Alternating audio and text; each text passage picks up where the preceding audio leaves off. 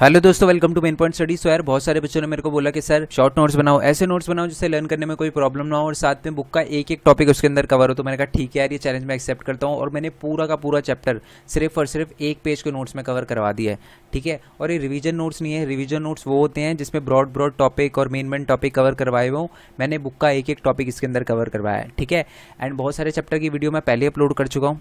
ठीक है, उनका लिंक आपको नीचे डिस्क्रिप्शन में मिल जाएगा। एंड बाकी चैप्टर की वीडियो भी मैं वन पेज नोट्स और टू पेज नोट्स की वीडियो मैं जल्दी ही अपलोड कर दूँगा। अगर अभी तक अगर आपने चैनल को सब्सक्राइब नहीं किया तो कर दो, क्योंकि मेन पॉइंट स्टडी की ज़रूरत आपको पढ़ने वाली है, खासकर एसएसटी में।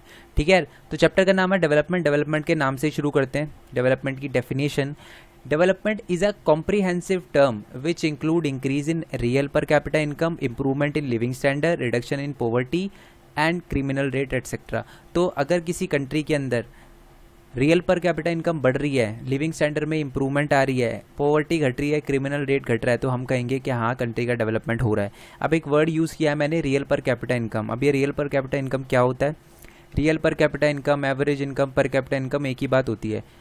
Average income earn per person in an given area यानी अगर मैं आपसे पूछूँ कि ये बताओ कि रियल पर कैपिटा इनकम बताओ एक कंट्री की तो एक कंट्री के जितने भी लोग हैं वो जितना भी अर्न कर रहे हैं divide by total number of population या मैं पूछूँ कि यार ये बताओ कि एक एरिया की या मान लो आपके स्टेट की पर कैपिटल इनकम कितनी है तो आपकी स्टेट के अंदर जितने भी लोग हैं, उनकी जितनी भी इनकम है, उनको आप प्लस करोगे divide by total number of population in your state तो उसको हम कहेंगे एवरेज इनकम मतलब एवरेज नहीं निकालते आप मैथ्स में, बिल्कुल सेम वैसे ही है। इसका फॉर्मूला है, अगर मान लो आपसे पूछा जाए कि national income of an country तो इसका फॉर्मूला है national income divide by total population of an country area या कंट्री ठीक है?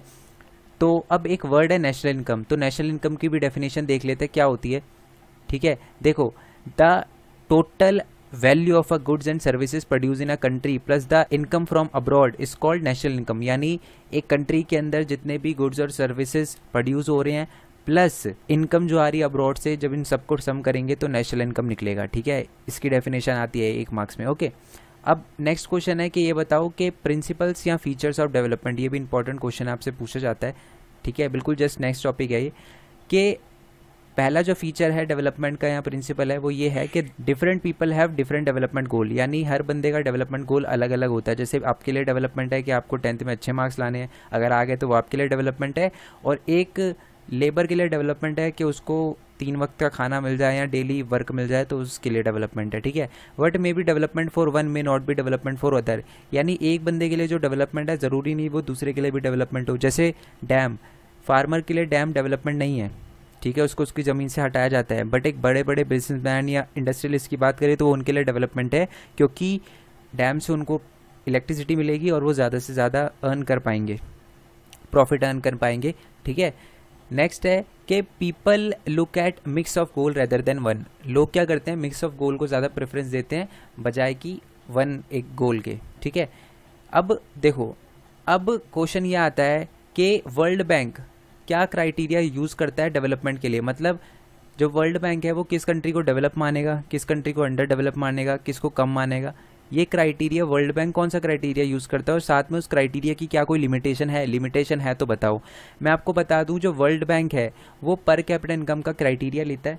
ठीक है? यानी अगर किसी कंट्री की पर कैपिटल इनकम इतने ज़्यादा है तो वो डेवलप माना जाएगा। इससे कम है तो वो लो इनकम कंट्री माना जाएगा। ठीक है? या मिड इनकम कंट्री माना जाएगा। वो क्राइटेरिया भी मैं आपको बताऊँगा। ठीक है? तो per capital income of a country निकालने का फॉर्मूला आपको पता ही है कि national income divide by total population of nation ठीक है? नेशनल इनकम की डेफिनेशन मैं आपको बता चुका हूँ। अब देखो 2019 के अकॉर्डिंग क्या क्राइटेरिया रखा है वर्ल्ड बैंक ने? वैसे वर्ल्ड बैंक जो है वो तीन चीज़ें यूज़ करता है। मतलब low income country and upper middle income country और लोअर मिडल इनकम कंट्री और हाइयर इनकम कंट्री बट अगर मैं बात करूँ, हमारी बुक की तो उसमें सिर्फ़ तीन दे रखा है। Low income country high income country और मिडिल इनकम कंट्री। तो मैं आपको बता दूँ, जो भी कंट्री, जिस भी कंट्री की per capital income one thousand twenty five dollar से कम है, ठीक है, वो लोअर इनकम कंट्री होगी। जिस भी कंट्री की पर कैपिटल इनकम, अब क्या करना है आपको? अपर इनकम कंट्री और अपर मिडिल इनकम कंट्री और लोअर मिडिल इनकम कंट्री को मिला देना है। यानी कि अगर कोई कंट्री की per capital income one thousand twenty six dollar से ज़्यादा, या twelve thousand three hundred seventy six dollar से कम है तो उसको मिडिल इनकम कंट्री कहेंगे, जैसे कि आपको पिक्चर में दिख ही रहा होगा, ठीक है? और अगर किसी कंट्री की per capital income more than twelve thousand three hundred seventy six dollar है तो उसको हाई इनकम कंट्री कहेंगे, ठीक है? क्या इस क्राइटेरिया की कुछ लिमिटेशन है? बिल्कुल लिमिटेशन है। पहली बात तो डेवलपमेंट ज़रूरी नहीं है कि सिर्फ़ इनकम से ही नापा जाए। जो अदर फैक्टर होते हैं important other important factor including literacy rate I M R I M R होता है इन्फेंट मोटेलिटी रेट इसकी भी डेफिनेशन मैं आपको बताऊँगा। हेल्थ केयर आर इग्नोर्ड जब हम ये वर्ल्ड बैंक का क्राइटेरिया यूज़ करते हैं तो ये सारे के सारे फैक्टर इग्नोर कर दिए जाते हैं। Second point information about unequal distribution of income यानी information about unequal distribution of income is not mention by the world bank यानी हमें ये नहीं पता चलता कि अनइक्वल डिस्ट्रीब्यूशन कितना है और कितना नहीं है। अगर ये चीज़ आपको अच्छे समझ नहीं है ना तो डिस्क्रिप्शन में लिंक दे रखा होगा। वहाँ पर मैंने चैप्टर बहुत अच्छे से, आराम आराम से एक एक टॉपिक कवर करवाया है तो वहाँ पर जाकर आप देख सकते हो। बट मैं यहाँ पर सिंपल सा बता देता हूँ कि जो अनइक्वल डिस्ट्रीब्यूशन होता है ना इनकम का, वो नहीं पता चलता जब हम वर्ल्ड बैंक के क्राइटेरिया को यूज़ करते हैं। अगर आपको समझना है तो पिक्चर दिख रही होगी आपको, ठीक है? एक एग्ज़ाम्पल से। ओके नेक्स्ट है कि income economy of a country can not determine the development of the country और ज़रूरी नहीं है कि एक कंट्री की जो भी इनकम होती है ठीक है या इकोनॉमी होती है, वो उसके कंट्री के डेवलपमेंट को भी दिखाए, ठीक है? तो ये लिमिटेशन है इंपॉर्टेंट क्वेश्चन है कि वर्ल्ड बैंक कौन सा क्राइटेरिया यूज़ करता है पर कैपिटल इनकम यूज़ करता है?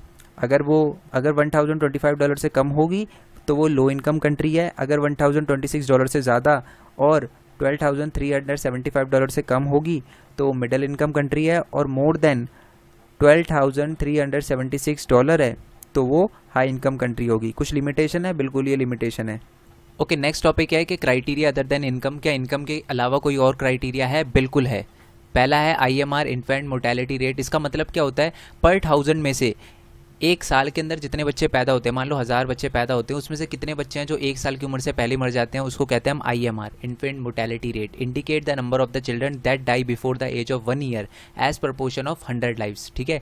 Born in that particular year उसको कहते हैं। तो ये क्राइटेरिया भी यूज़ करा जाता है। यानी जिस कंट्री का आई एम आर ज़्यादा हो, यानी ज़्यादा बच्चे मरे तो उसको डेवलप नहीं माना जाता। नेक्स्ट है कि लिटरेसी रेट यानी सात या सात साल से ज़्यादा जो उम्र के बच्चे हैं, कितने हैं जो लिटरेट है टोटल पॉपुलेशन में। उसको कहते हैं लिटरेसी रेट ऑब्वियसली बात है, जिस कंट्री की लिटरेसी रेट अच्छी होगी, उसको ज़्यादा डेवलप माना जाएगा। ठीक है? नेक्स्ट है नेट नेट अटेंडेंस रेशो यानी 14 से 15 साल के बच्चे, जितने भी है कंट्री के अंदर, उसमें से कितने परसेंट बच्चे हैं जो स्कूल में जाते हैं। तो यानी किसी कंट्री का नेट अटेंडेंस रेशो ज़्यादा होगा तो ज़्यादा डेवलप माना जाएगा। ठीक है? एंड है लाइफ एक्सपेक्टेंसी एट बर्थ यानी एक एवरेज बर्थ एवरेज जो एज है वो कितनी है उस कंट्री के अंदर, ठीक है? मैं आपको वैसे बता दूँ, एक क्वेश्चन इससे ज़रूर आता है कि आपसे क्वेश्चन पूछा जाएगा कि केरला का आईएमआर कम क्यों है? यानी बहुत कम बच्चे मरते हैं वहाँ, क्योंकि ज़्यादातर है ना वहाँ की हेल्थ जो स्ट्रक्चर है वो बहुत ही अच्छा है। हेल्थ स्टेटस और हेल्थ जो स्ट्रक्चर बना रखा है हॉस्पिटल वगैरह बहुत अच्छे हैं ओके जिसलिए इसलिए इसी वजह से वहाँ पर ऐसी कोई प्रॉब्लम नहीं आती ओके अब क्वेश्चन ये आता है कि यार पर कैपिटल इनकम तो वर्ल्ड बैंक यूज़ करता है एज अ क्राइटेरिया तो ये जो क्राइटेरिया की, जो ये जो क्राइटेरिया की हमने बात करी, यानी I M R literacy rate net attendance ratio और लाइफ एक्सपेक्टेंसी एट बर्थ वो क्राइटेरिया कौन यूज़ करता है? वो यूज़ करता है हमारा U N D P U N D P की फुल फॉर्म है यूनाइटेड नेशन डेवलपमेंट प्रोग्राम वो है ना अपनी एक रिपोर्ट छापता है हर साल, जिसका नाम है ह्यूमन डेवलपमेंट रिपोर्ट ठीक है? और वो क्या करता है? कंपेयर करता है कंट्री को on the basis of education health और इनकम ठीक है? यानी ये क्राइटेरिया यूज़ करता है और हेल्थ भी लेता है। यानी कि इसको आप ऐसे समझो एज एग्ज़ाम्पल ठीक है? दो लेडी है, ठीक है?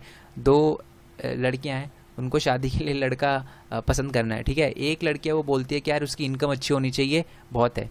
तो वो क्राइटेरिया वर्ल्ड बैंक वाला क्राइटेरिया है। दूसरी ये कहती है कि यार इनकम तो अच्छी होनी चाहिए, साथ में वो पढ़ा लिखा भी होना चाहिए लिटरेट भी होना चाहिए, ठीक है? बिल्कुल बॉडी बॉडी भी सही होनी चाहिए सिक्स पैक्स निकले है ना? और थोड़ा जिए भी ज़्यादा। तो ये क्राइटेरिया जो यूज़ करती है, वो यू एन डी पी वाला क्राइटेरिया है, जो मोहतरमा दूसरी वाली यूज़ करती है, ठीक है? आई होप इस एग्ज़ाम्पल से थोड़ा बहुत समझ आया हो आपको।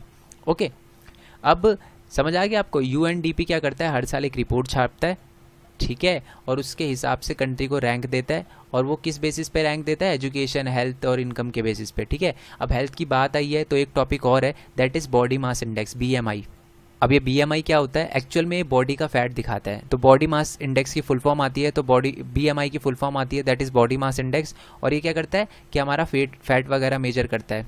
ठीक है? अब देखो इसका फॉर्मूला होता है बीएमआई का। वेट इन केजी यानी मान लो आपका 50 केजी वेट है divide by height in meter का स्क्वायर यानी 1.7 मीटर आपकी हाइट है तो उसका स्क्वायर इसको निकालोगे ना आप तो अगर आपका बीएमआई यानी बॉडी मास इंडेक्स 25 से ज़्यादा आता है तो आप ओवरवेट हो, गोलू मोलू हो, आप अगर 18.5 से लेकर 24.9 के बीच में आता है तो आप हेल्थी रेंज में हो। अगर 18.5 से कम आता है तो आप अंडर नरिस्ड हो। ठीक है?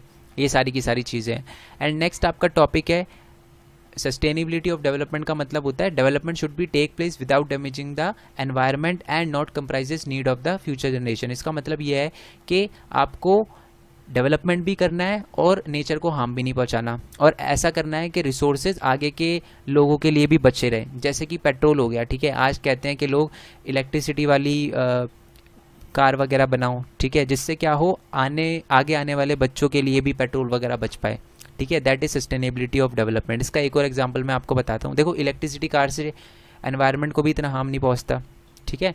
यह एग्ज़ाम्पल आई होप आपको क्लियर हो गया। और दूसरा एग्ज़ाम्पल देने की ज़रूरत नहीं है। अब एक टॉपिक और है. That is public facility public facility क्या होता है? Service provided by the government to citizen यानी जो फैसिलिटी गवर्नमेंट प्रोवाइड करती है अपने लोगों को, यानी गवर्नमेंट स्कूल हो गए गवर्नमेंट हॉस्पिटल हो गए इंफ्रास्ट्रक्चर हो गया रोड वगैरह बनाना हो गया, उसको हम पब्लिक फैसिलिटी कहते हैं. तो यानी अगर आपको आता है कि ये बताओ प्राइवेट स्कूल क्या पब्लिक फैसिलिटी में आता है तो आपको लिखना है नहीं. ठीक है? अब ये जो पब्लिक फैसिलिटी है, वो गवर्नमेंट क्यों देती है? सिंपल सीधी बात है. कलेक्टिवली मेक इट चीप जब हम बसेज होती हैं जो ठीक है गवर्नमेंट की बसेज होती है, आपको उसमें कम पैसे देने पड़ते हैं, जबकि अगर आप ओला और ऊबर की बात करो तो आपको ज़्यादा देने पड़ते हैं पैसे, ठीक है? तो कलेक्टिवली मेक इट चीप सस्ता बना देता है। नेक्स्ट है कि performance of other criteria also improve यानी जो अदर क्राइटेरिया ना, वो भी इम्प्रूव होंगे, जैसे इकोनॉमी भी आपकी अच्छी होगी, क्योंकि ऑब्वियसली बात है, आप एक बिजनेसमैन हो, आपको कोई चीज़ एक जगह से दूसरी जगह ले जानी है तो अगर इंफ्रास्ट्रक्चर ही अच्छा नहीं होगा रोड ही अच्छी नहीं होगी तो आप नहीं ले जा पाओगे। तो इसलिए अगर रोड वगैरह सही होगी पब्लिक फैसिलिटी अच्छी होगी तो बिज़नेस वगैरह इकोनॉमी वगैरह भी ग्रो करेगा। और साथ में I M R literacy rate भी इम्प्रूव होती है। जैसे जैसे कि अगर मान लो गवर्नमेंट ने बहुत सारे हॉस्पिटल वगैरह बनाए हैं और स्कूल वगैरह बनाए हैं तो लिटरेसी रेट भी बढ़ेगी और साथ में आई एम आर भी कम होगा। तो ये पूरा का पूरा चैप्टर हो गया आपका ख़त्म। वीडियो अच्छी लगी हो तो लाइक करना। आई होप आपको ज़रूर अच्छी लगी होगी। अभी तक अगर आप देख रहे हो तो हंड्रेड परसेंट अच्छी लगी होगी। तो वीडियो को लाइक करना लाइक ज़रूर करना, ठीक है? चैनल को सब्सक्राइब करना। जितना हो सके इस वीडियो को शेयर करो और इंगेजमेंट बढ़ाओ, ठीक है? यूट्यूबर की इंगेजमेंट बढ़ाओ। ओके एंड जैसे कि आप सबको पता है कि मेरा चैनल जो है मोनेटाइज नहीं है तो अगर आप मेरे को सपोर्ट करना चाहते हो तो ज़रूर करना, ठीक है? पेटीएम नंबर आपको स्क्रीन पे दिख रहा होगा। ओके यार, अब थोड़ा सा मेरे लिए मैनेज करना डिफ़िकल्ट हो रहा है तो अगर आप कैपेबल हो, आप मेरे को सपोर्ट कर सकते हो तो ज़रूर करना, क्योंकि मेरे को नहीं लगता ऐसे मैं ज़्यादा टाइम तक वीडियो अपलोड कर पाऊँगा। ठीक है? यार एंड नेक्स्ट वीडियो के लिए स्टे ट्यून नेक्स्ट चैप्टर के लिए स्टे ट्यून तब तक के लिए जय हिंद, जय भारत, वंदे मातरम। एंड यस मेरे इंस्टाग्राम और फेसबुक का लिंक भी नीचे डिस्क्रिप्शन में दे रखा है, आप उसको भी फॉलो कर सकते हो। Bye bye